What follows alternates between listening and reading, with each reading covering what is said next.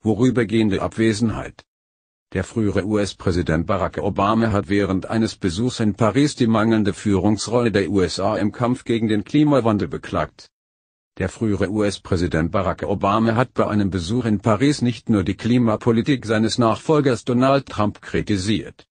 In einer Rede vor französischen Unternehmern beklagte Obama am Samstag die vorübergehende Abwesenheit Washingtons beim Klimaschutz. Trump hat den Ausstieg der USA aus dem Pariser Klimaschutzabkommen angekündigt, das zwei Monate vor seiner Wahl zum US-Präsidenten unterzeichnet worden war. Obama hatte bereits am Freitag bei einer Ansprache in Indien beklagt, dass die USA drohten, beim Kampf gegen die Erderwärmung ins Hintertreffen zu geraten. In Paris sprach er sich in seiner Rede vor dem Unternehmer und dem PR-Netzwerk Les Napoleons, zudem für mehr Frauen in Führungspositionen aus. Männer scheinen gerade einige Probleme zu haben, sagte Obama mit Blick auf die Welle der Enthüllungen über sexuelle Belästigungen durch Prominente und Politiker in den USA.